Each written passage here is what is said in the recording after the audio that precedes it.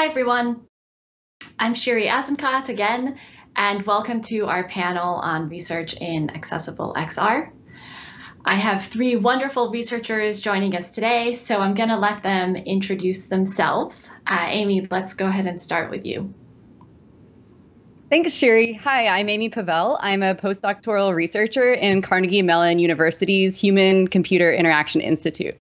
In my research, I design and develop new augmented, or sorry, new uh, interactive techniques that use artificial intelligence. And most recently, I've focused on creating AI assisted tools to make media like augmented reality and videos more non visually accessible. Uh, Kyle, how about you? Yeah, hi everyone. I'm Kyle Rector. I'm an assistant professor of computer science at the University of Iowa, and my research is in designing, developing, and evaluating technologies to enhance quality of life for people with visual impairments. I've focused in domains such as exercise and art, but most recently, I've been trying to look into how to make virtual reality experiences more accessible. And Martez. Yeah. Hi, everyone. My name is Martez Mott. I'm a senior researcher in the Ability Group at Microsoft Research. And in my research, I try to create new ways for people with physical disabilities to have accessible interactions with the different types of computing devices they may have. And recently, I've been trying to better understand how we can make augmented and virtual reality systems more accessible to people with limited mobility.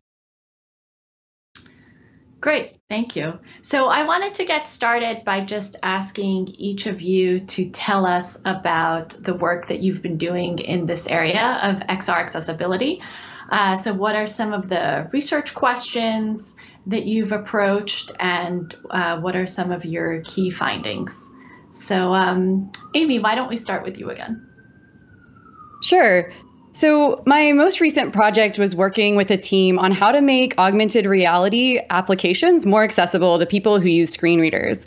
And a couple of the research questions here were what interactions um, are on AR applications currently that might be inaccessible. And so we covered we covered domains like games, retail, and education. And then we wanted to know how we could make these interactions screen reader accessible. So, to answer these two questions, we surveyed some of the most common interactions available on augmented reality applications today. Um, and then we developed application prototypes uh, that enabled uh, common interactions like searching for digital content in AR scenes and gaining more information about content in a scene. So, for instance, imagine you're using an augmented reality museum app. You might click on an artifact to get more information about its history and where it came from.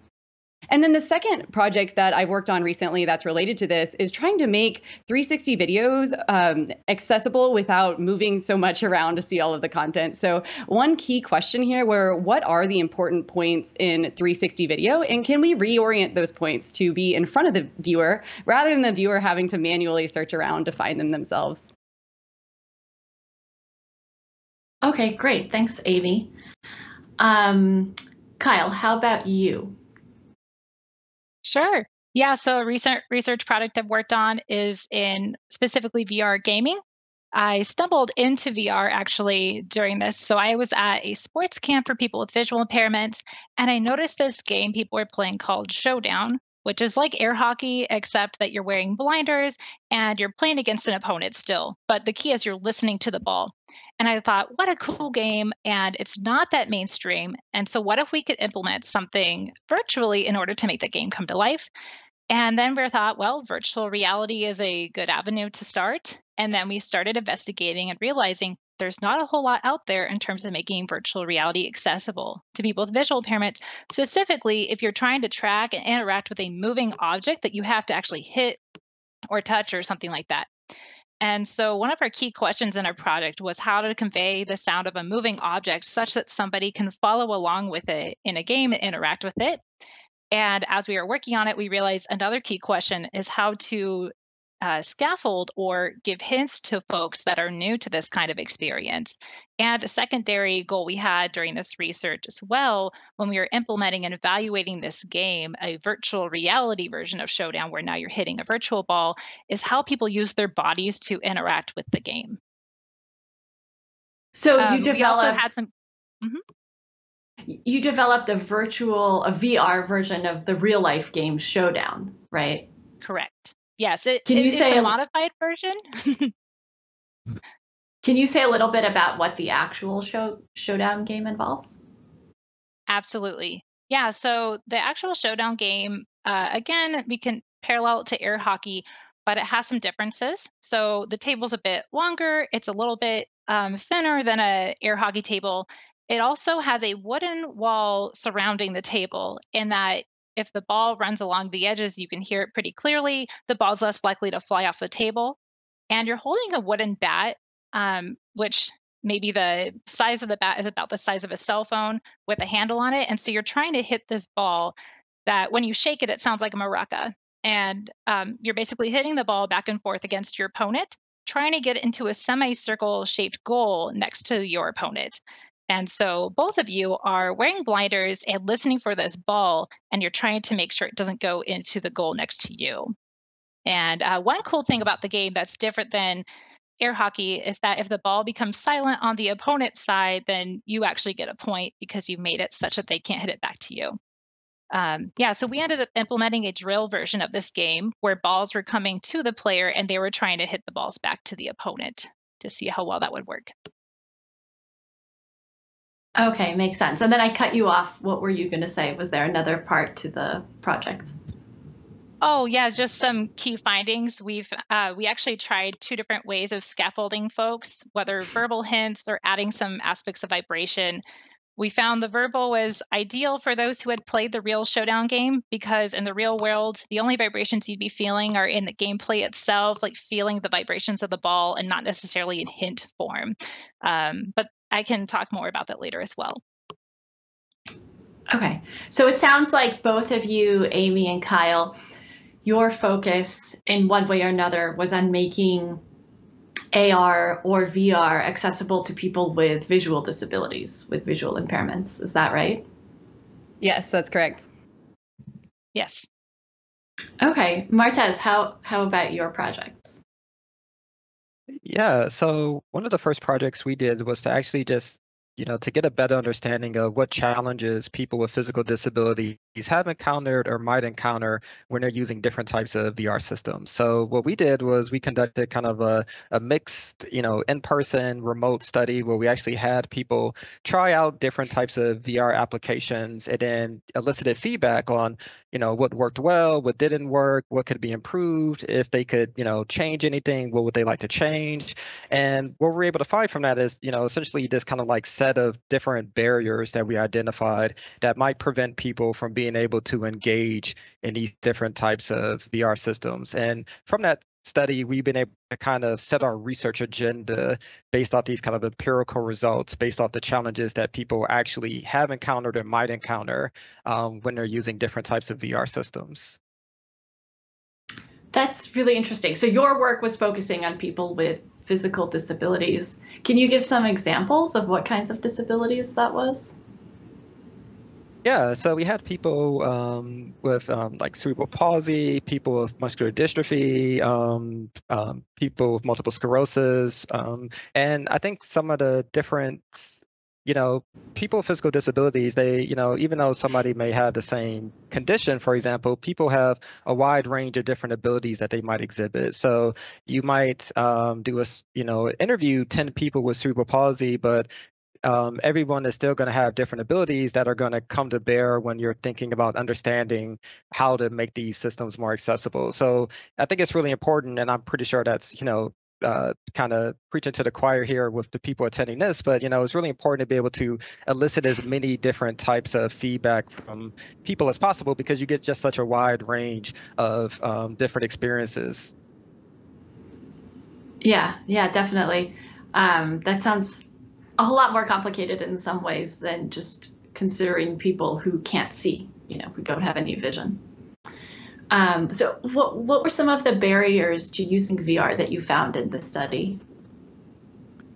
Yeah, so most of the barriers that we identified all had to do with the kind of physical aspects of VR hardware. So there are some things that we identified, like just setting up a VR system, for example, can be a big challenge, especially if somebody's thinking about doing this independently. So if you've ever set up like a VR system before, one of the first things you have to do is like set up this kind of like barrier. So like, you know, or this um the interactive area that you might be playing inside. But you know, that could pose challenges for people. So for example, one of the first things you might have to do is to like set the floor level. But to do this, the system might require you to take your controller and actually tap the floor with it. Um, but that could be a challenge for people who have difficulty bending down or bending over. If you're a person who's inside of a power chair, for example, you might have difficulty reaching your arm to the ground to touch the floor. So that could pose a challenge. Um, just putting on a VR head-mounted display, so the HMD, that could be a challenge. You know, for people who may have difficulty lifting their arms above their chest, for example. Um, the systems themselves require you to kind of tighten them on top of your head in a certain type of way, so that can be challenging. And then there's also different challenges people might encounter when using kind of the VR controllers themselves. So, you know, I think there's a push now towards more kind of like hand tracking that you might get, but that can be, you know, challenging for people who may not be able to articulate their individual fingers. And then other people may have challenges holding the controllers, um, pushing button on the controllers, using two controllers at the same time.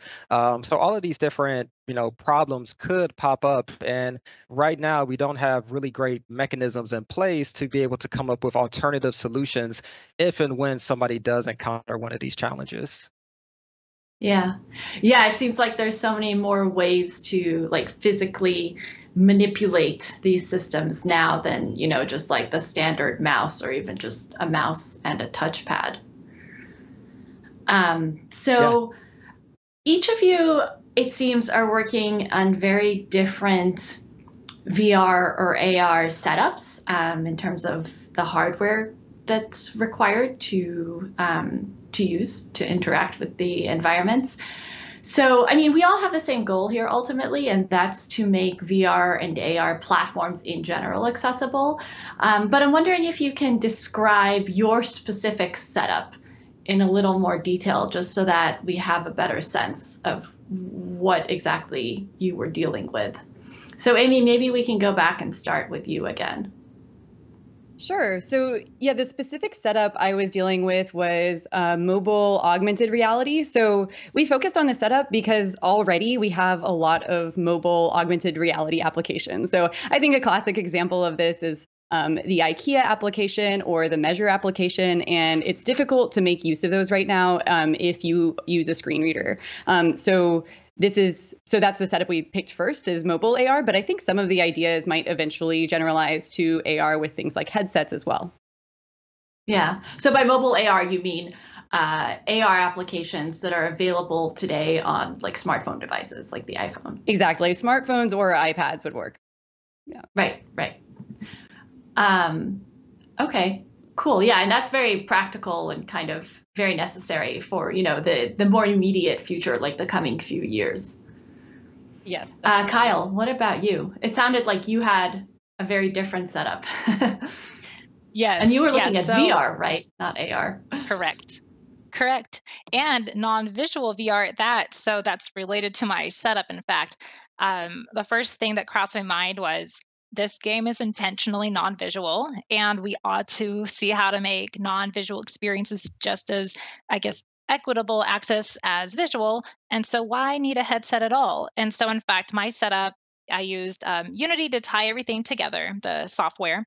And I had a Microsoft Kinect about six feet away from the person on a table, and they were standing at the other end playing at a physical table.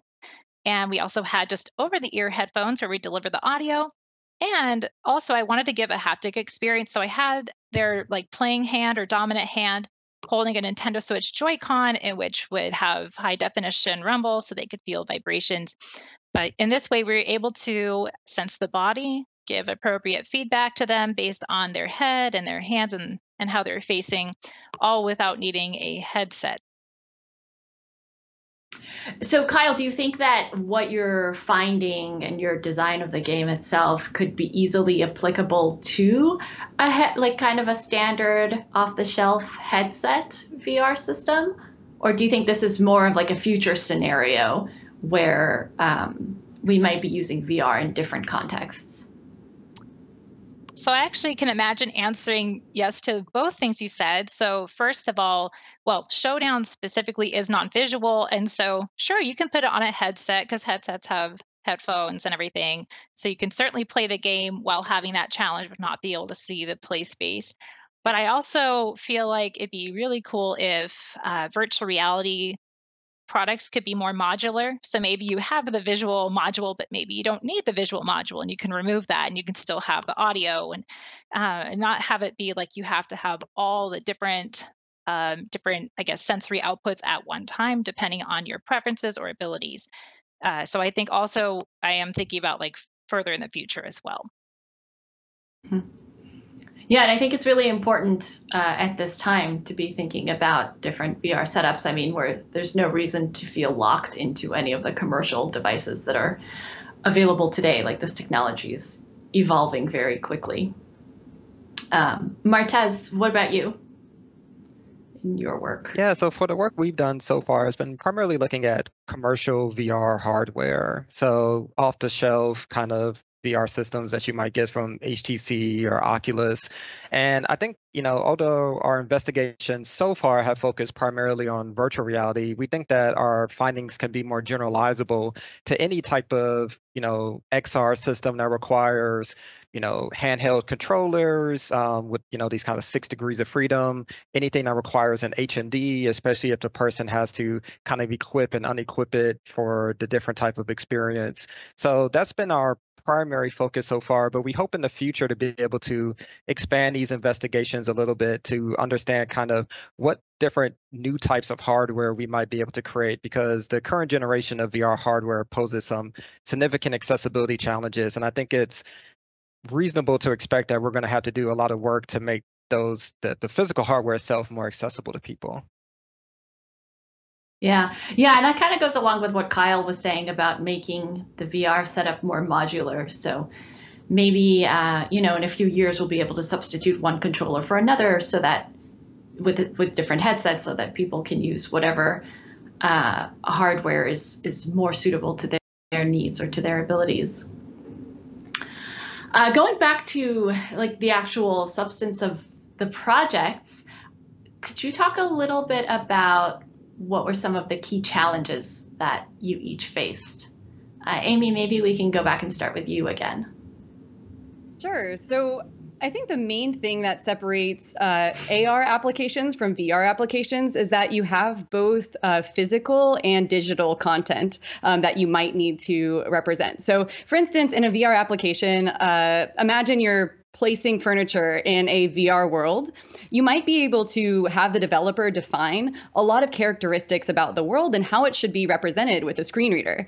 On the other hand, in AR, you might be messy. Uh, you might be using like messy environments, and uh, you need computer vision uh, to be able to assess what's in the physical world and represent it uh, using something like a screen reader. So, for instance, one one thing that we faced is when you're placing furniture in a room. So, say I go to place a couch in my living room, um, it's really difficult to determine what in the physical space we should represent to the user. So, for instance, if they go to place a couch, we could tell them, "Oh, the, you're placing the couch uh, next to the desk."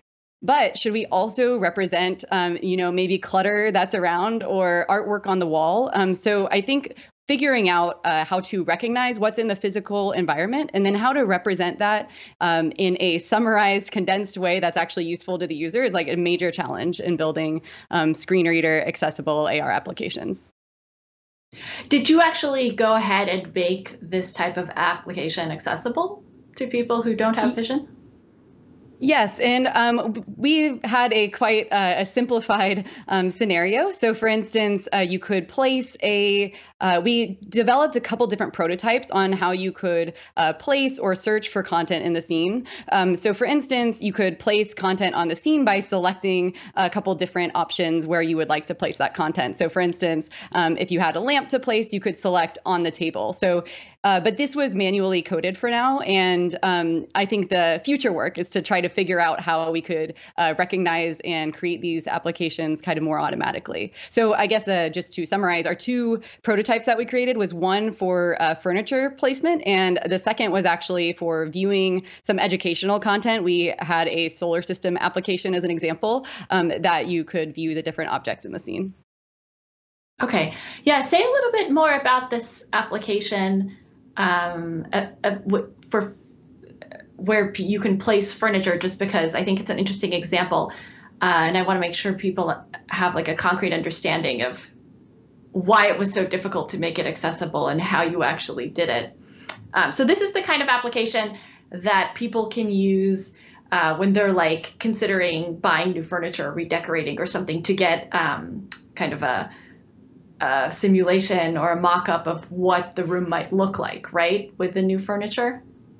Yes, that's correct. So you might want to, um, you can imagine, uh, just to state a little bit more about what visual attributes might be interesting when you are placing furniture. So some things could be the uh, visual and physical attributes. So some things could be the size of the furniture. Does the furniture fit in the space uh, provided, for instance? Um, and then you might mm. imagine also that the color or the texture related to other objects in the room might also be important. So we prototyped pretty simple versions of this application application just to um, try out a couple different interactions. Uh, but so one example that I was talking about is like placing a lamp in the environment, and it would give you a few options on where you could place it. So, for instance, would you like to place it on the desk, on the table? Um, but it was kind of difficult to get more information about the visual aspects around the scene. So that's definitely an interesting area for future work. Mm-hmm. Yeah, and I can imagine that you're also very dependent on computer vision and uh, whatever state of like computer vision libraries you have available to you, right? Exactly. So there's two major parts of computer vision I think are important here. So one is like segmenting the 3D scenes. So for instance, um, where are the surfaces in the scene at all? And then the second part is how you can represent uh, the scene in more of a um, in more of a descriptive way. So, for instance, um, we might have a really good recognizer for desks, but not for other types of um, things in your environment. Yeah. Yeah, yeah. I think it's also interesting that a lot of the information that you want to get under this sort of user experience, like for you know, for a typically sighted user, would be very yeah.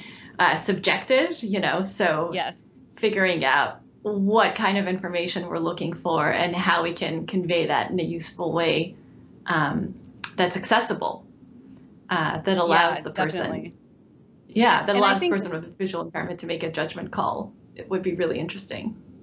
Yeah, and I, I, think you could find a couple interesting things to do here as well. Like maybe it could suggest a couple good placements, or it could give you a summary of the information and find out where you want more depth about um, maybe like how well the color matches to something else in your room, or what the uh, color itself is. So I think that there's kind of a um, you know what information is important to you depending on what task you're doing can also change so yeah it's a it's a super interesting and challenging problem i think there's so much room for um, more development there yeah, yeah.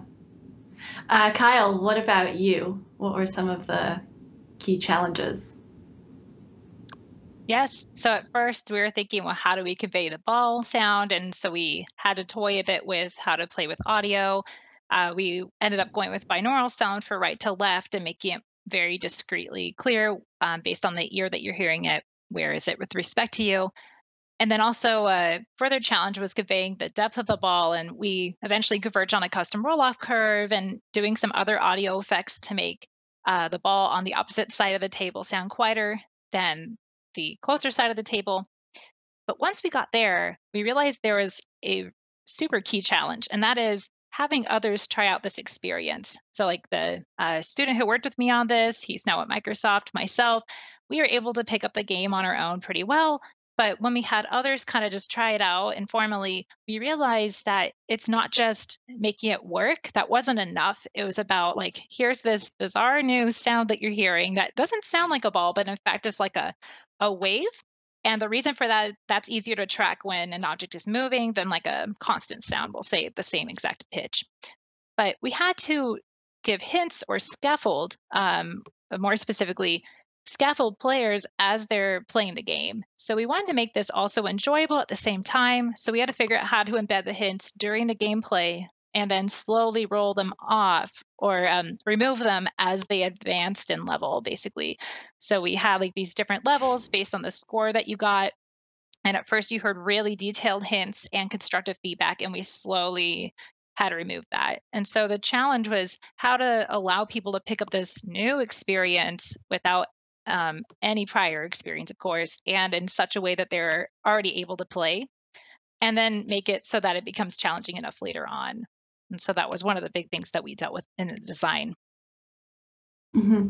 Uh, you've mentioned this word scaffold several times, or hints, yeah. as you call them. Yes. But could you say a little mm-hmm. bit more about what exactly you mean by this? Yes, yeah. So scaffolding is something that's used in education as well, and it's where you're you're providing uh, enough information as you're doing the activity, and that way it's kind of all built in. So in the example of our virtual reality game, we had um, some hints in advance where you kind of could hear where the ball starts and where it will end. And that was said verbally. So you could get used to the 3D audio in your headphones and like things getting louder as they get closer to you. And then um, as the ball crossed the halfway point, we paid attention to where your hand was currently and we said whether you had to move your hand further to the right or to the left to hit the ball.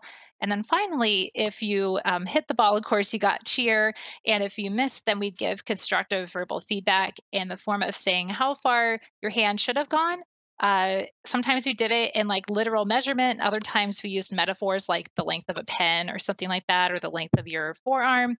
And so we have these three different ways of basically building that information into gameplay instead of just having like a tutorial beforehand and then here you go play good luck. Uh, so it's trying to immerse it or put it in all together at the same time. Mm. do you think that the scaffolds are necessary for um, let's say a future world where the audio simulations are going to be very very realistic?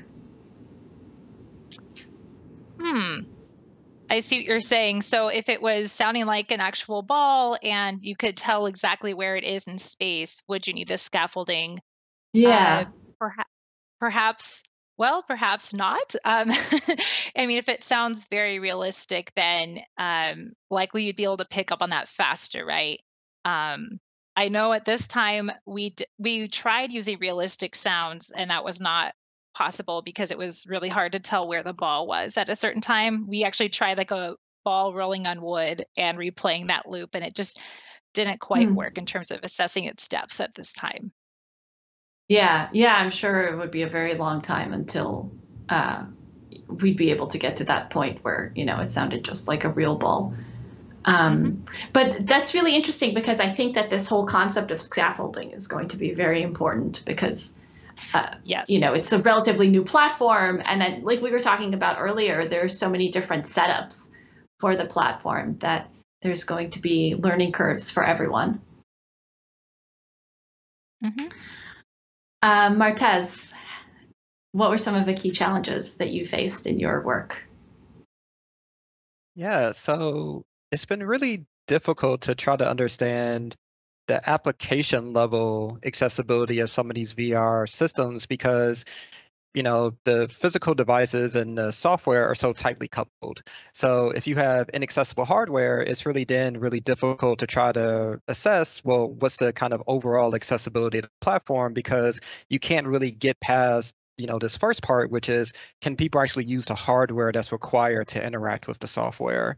So we've tried some type of investigations early on to get past this. So for example one system or one kind of attempt that we tried to make with this was to try to understand for example how we could have more accessible bi-manual interactions in vr but with like unimanual input so if you kind of play any VR games or these applications, you might encounter something like, oh, now I have to like climb this ladder and I have to use kind of like two hands to perform like a climbing up motion. Or I get to this door or this like safe and I need to use like two hands to like turn this wheel to open the safe. Uh, but that could be a problem for people who might have less strength in one hemisphere of their body or a person who's an amputee and only wants to use one controller. So then there's this case of like, well, how do we get past some of these kind of software barriers if the hardware itself doesn't really allow us to do that. So there was some work that we did there to try to understand like how could we with like just a single controller input make you know it more accessible to have you know bi-manual interactions inside of VR applications. So that's been one kind of big challenge of just trying to understand how do we get past or overcome these hardware um, and accessibility barriers? And then I think the second, um, and especially this has been true over the last year and a half, which is when I kind of started doing this work, is that um, not many people with physical disabilities personally own a lot of VR you know hardware like VR headsets, these you know VR platforms. So it's really difficult to do co-design type of work, uh, which is what we would prefer to do, and actually be able to work side by side with people. Due to COVID, we haven't able been able to you know be in person to do any of this work, and there's also you know no opportunities or very little opportunities for us, for example, to kind of create some software or to create some prototypes and actually have people try them out in their homes because people just don't have the hardware. So it's really difficult to try to understand, you know, what kind of small tweaks we need to make because a lot of these things are based off perception, right? So we could build something, but if it doesn't really work for the people we're intending it to work for, you know, because they don't have the opportunity to actually try it, it really makes it difficult for us to actually understand what kind of like the efficacy of the things we're building are. So those have been two big challenges that we've been facing so far. Yeah, yeah, that's really interesting. And I know also from the work that I've done on making VR more accessible to people with visual disabilities, you're kind of starting up for this place of, well, it's not accessible at all and they don't use the technology at all. So it's hard to even figure out what the specific challenges are. um, but you, you raised a really good point, Martez, in that you wanted to do co-design with people with disabilities to involve them in the design process itself. And I know the work that all three of you do, and I know that that's a priority for all of you. Um, so I'm wondering if you can say a little bit more about your methods and how you involve people with disabilities in, well, how you involve them in this work in particular that we've been discussing. Um, Amy, maybe we could go back to you.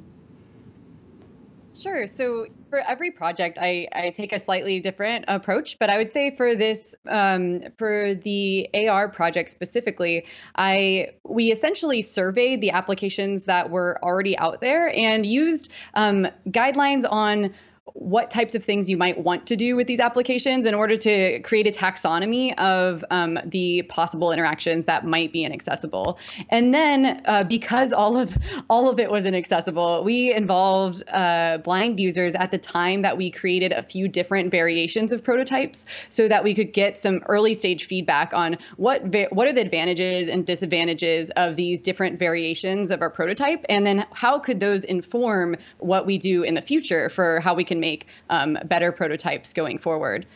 In other types of projects, I might involve um, users with disabilities a little bit earlier so that we can get um, more feedback as well, um, even even in an earlier stage than that. But at this in this specific project, it was at the stage of comparing a few possible prototypes for just making the base level of these AR applications more accessible.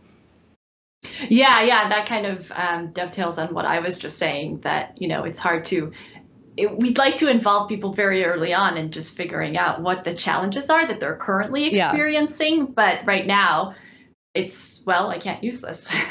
exactly. So it's, it's starting yeah. from basic zero, unfortunately and i guess you know ways that people people might have other ways to get around it still and i think that might be interesting to look at in the future. So for instance maybe um, you have your sighted partner help you with parts of the application that you're unable to um, do right now. So i think there's still ways that people work around using these applications that could be informative um, and so definitely probably worth exploring in the future too. Yeah that's a really good point. Um, kyle what about you yeah. So in this particular project, um, the whole conception of the idea came from, I guess, immersing myself and going to events like a sports camp for people with visual impairments and just observing because it's like a whole new world for me.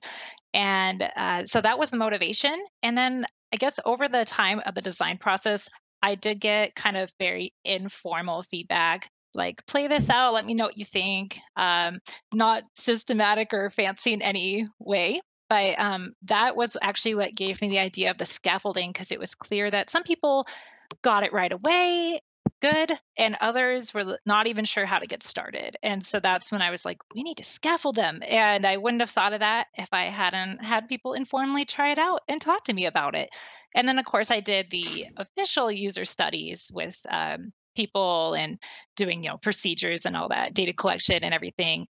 And the findings from that uh, like one interesting tidbit that i definitely want to follow up on now in the future is people kind of were playing, you know, with forehand or backhand swings, but then also people were doing other techniques like jousting at the ball, like poking at it, or just holding the hand stationary. And so then that interaction actually will inform future research. So when I start um, eh, thinking about how to inter- how to use your body to interact with a moving object, not just to hit it, but like how do you hit it?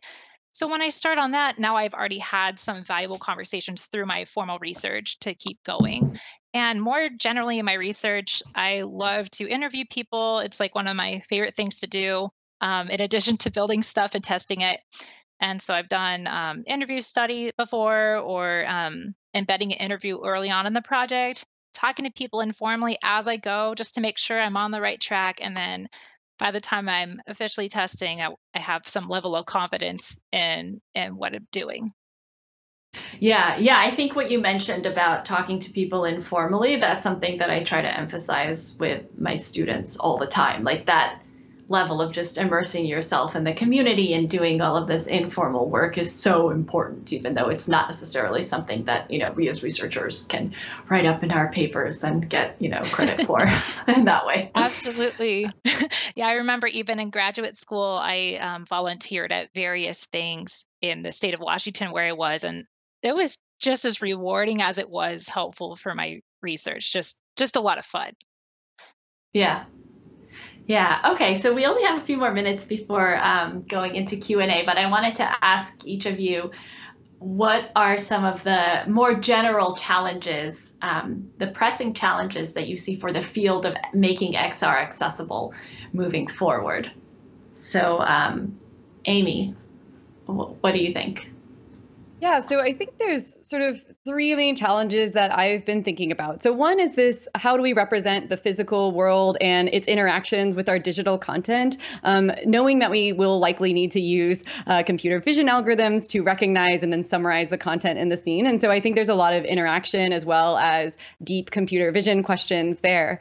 Um, the second main challenge is that, uh, at least in, in my experience, augmented reality can be uh, not accessible because you also need to move around a lot. So similar to uh, Mar- well, Martez's project, if you uh, a lot of AR applications require walking or moving your camera, like very using fine grain motion to move your camera around the scene. So I think um, you know working on how we can make AR more accessible to people with mobility impairments will be really important. And then a third thing is that oftentimes right now we're designing um, these applications uh, to be accessible after some of them are already designed. And I think Kyle's uh, Kyle's project is a really great example of making a um, accessible first uh, application. But I think in the future, more applications could uh, think about accessibility from the very beginning, involve people in their design process, and maybe come up with even better solutions um, than we have today for uh, for you know after the fact accessibility improvements. Kyle, how about you? What are some of the pressing challenges for the field of XR accessibility moving forward? Absolutely. Yeah, thinking about, I guess, sound for a second, I was using sound such that you could actually play something, but there's sound also that's meant for immersiveness, also realism. I guess those are one and the same, but for entertainment. And so, how do you blend all those sounds together so that way you can use it, but also enjoy it fully and have a realistic experience like you do when you hear things in the real world? So, that's one thing. Another thing I found interesting um, and this was based on an interaction I had. A person was actually relieved that the VR game had no headset because they were prone to seizures. And it was something I hadn't even considered when I was building this. And now it's apparent to me that it's not just, you know, one class of disability, although that's how I often do my work, but we have to think of comorbidities that people aren't just going to necessarily have one disability, or maybe it's a hidden disability. And, and so we're actually generalizing much broader than maybe that target audience we're thinking of. But people with comorbidities could have even more valuable insights um, that you hadn't considered prior. So that was helpful for me. And I guess that ties back into this whole modular thing. And um, yeah, so I appreciate what uh, Martez is doing as well with the uh, thinking of different controllers. Like, what are all the different pieces that you need to make an inclusive uh, VR experience? Mm-hmm. Yeah, yeah. And also just the fact that, you know, it, it's, it's easier for us to put people in buckets in different categories, but ultimately there's so much more variation, you know, within each of these categories that it's very challenging to account for. Uh, Martez, what are some of the pressing challenges for the field moving forward? Yeah, I, think one of the biggest challenges I've identified so far has been, you know, we really need to broaden our perception of what we think some of these technologies should be. I think one of the kind of more frustrating experiences I've had talking to people is that, you know, content creators, application developers might have a very specific ideal for what they want their VR experience to look like. So, you know, they want it to feel so realistic and they want it, you know, your physical motions to actually feel like you've been transported to these different places and they they really want this sense of embodiment and immersion and that can be all well and good in some instances but i think what we end up doing is that we by going through that approach what we end up doing is actually importing some of the inaccessibility the physical world into the virtual world and we don't need to. And that makes it really difficult when we then try to develop new types of methods or techniques to improve the accessibility of vr because we're so tightly integrating what we think these VR environments should be based off what our physical lives are like. So we really want kind of like, you know, this immersion of embodying avatars and for it to really be lifelike, but we're not giving also room for people or for us to understand how can we create more accessible experiences that allows people to be and exist in different ways and still have all of these great experiences in the VR world because we don't want people to feel that the physical world may present accessibility barriers to them and then also they find those same accessibility barriers in the virtual world. So I think we really need like as a field need to broaden our kind of you know conception of what VR and AR technologies really should be um, in a lot of these different instances. Yeah, I think that's a really interesting point, and that's also something that um, we can try to do collectively as the XR Access Initiative uh, in terms of changing or broadening people's conception of what AR and VR should be. Um, and that, you know, obviously should take into account people's range of abilities. Uh, okay, great. Let's see if we have any questions from Slack. So, Jesse, uh, what are you seeing there? Do we have any questions? Oh, thank you, Shiri, Martez, Kyle, and Amy, um, for that great talk. Uh, as a reminder, you can post questions to the panelists in the topic research channel on Slack. So I'm going to send this first question to Martez for the industry perspective, um, but would love to hear from others as well. So we have seen so much great work, yours included, um, in making XR accessible what can researchers do, whether they are uh, independent at a university or in some other situation, to help get their findings put into practice by developers or platform or hardware companies so that end users end up benefiting? Or vice versa, how can companies benefit from this type of fundamental research? Uh, before, sorry, before Martez yeah. answers, let me just interject really quickly that that's one of the key goals of XR Access, right? To try and make sure that there's a line of communication and more translation of the research that we're doing. okay, sorry, Martez.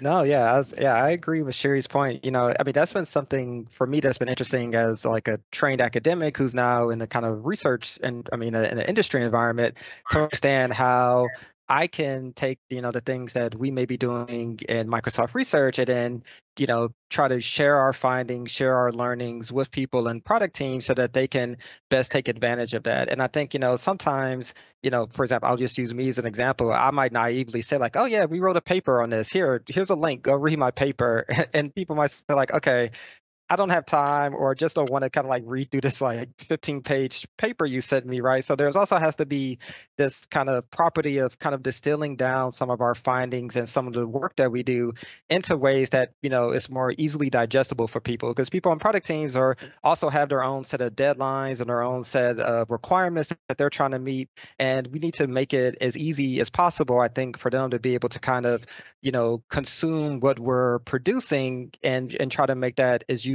as possible for them. So I would try, you know, things like, you know, XR Access or other different types of forms to be able to kind of share the work in different ways, you know, be able to produce alternative writing. So not just like the paper, but if you could produce like a small blog post that's like, hey, here's a 500 word breakdown of this, you know, 10,000 word paper I just wrote, that might be a, a much easier way for people to be able to digest some of the findings, especially if you can produce it in a way like, hey, here's this 500 word blog, here's a link to our GitHub where we have some code online, take a look at this demo or something like that. And I think that can go a long way to helping people understand what's been going on in the research field.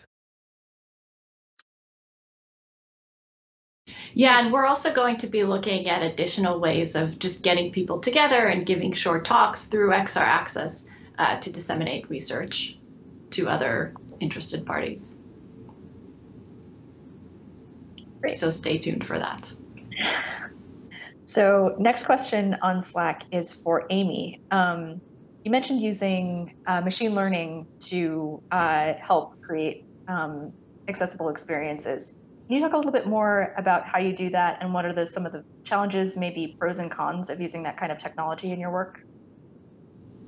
Yeah, so um, it's challenging. Uh, so I guess one um, right now a lot of the technology is quite limited. And so i guess a couple different types of limitations that i've run into are first you know regular problems that we're used to thinking about like um, the accuracy of an algorithm. So if i say this is a table or if i say this is a floor how accurate is that um, is that? And then another thing that i've run into is that sometimes the uh, descriptions that we could possibly recognize for something aren't yet adequate. So if we think about doing something like machine learning in your home, you might have um, personal objects or things that are kind of unique to you that you might want described in a different way uh, than what might be the default by the system.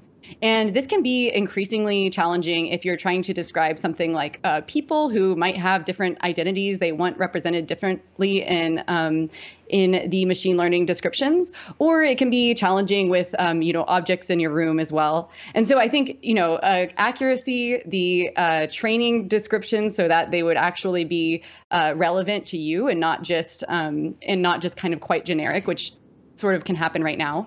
And then another third thing is the you get a, back a lot of information. So, say I was to recognize every object in your room. Uh, right now, that would be way too many objects to describe to you personally. So, I think a really interesting um, challenge for the future is how we can allow end users to customize themselves what types of uh, objects they would like to prioritize in descriptions and what types of objects are less interesting that, to them to be described. And so, I think a major challenge of machine learning going forward is making sure that end users actually have more access to informing what these techniques recognize about themselves and their environment and not just uh, creating all of that, um, trying to solve all of that on the side of the developer who might have quite specialized knowledge. So those are a couple of the challenges I could kind of think of so far. Great, thank you. Um, so we have time for one more question. I'm going to send this to Shiri, but I'd love to hear from others as well. Um, and that is, how can we get students, whether at the undergraduate or graduate level, involved in XR design and research? How do we train that next generation of researchers? Ah, well, um, there are many ways to do this. I mean, it depends on who the question is coming from. Do we do we mean like in a general sense, or specifically someone who's at a university or at a certain company? I think I think just in general, um, what are what are any sort of efforts that are going on um, to sort of make sure that people have training to become knowledgeable in this area? Mm-hmm.